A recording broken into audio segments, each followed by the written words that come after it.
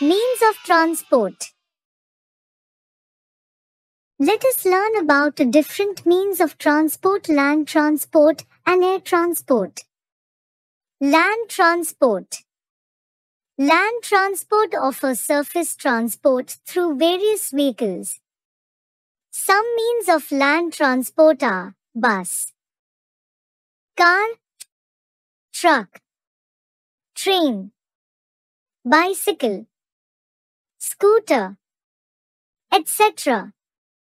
Land transport is part of our daily lives and makes our journey easy and comfortable.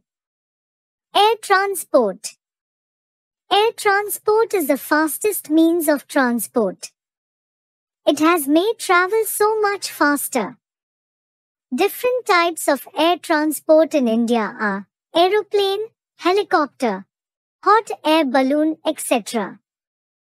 Air transportation can be used to fly within the country or outside the country.